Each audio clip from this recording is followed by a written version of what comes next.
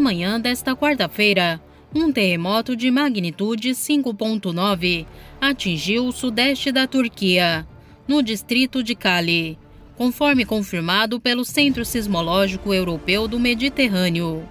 O tremor foi sentido por volta das 10 horas da manhã, com epicentro na região leste do país. Não há informações sobre vítimas ou danos materiais, mas os moradores entraram em pânico.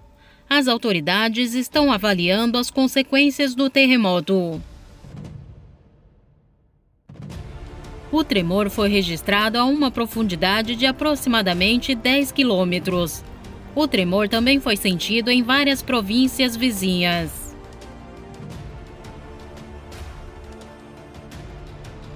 Três edifícios colapsaram parcialmente, mas não houve perdas de vidas ou danos significativos.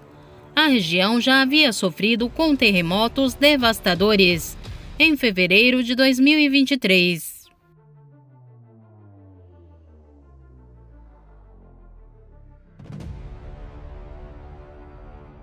Aqui no Fatos Notícias você fica por dentro de tudo o que acontece no Brasil e no mundo.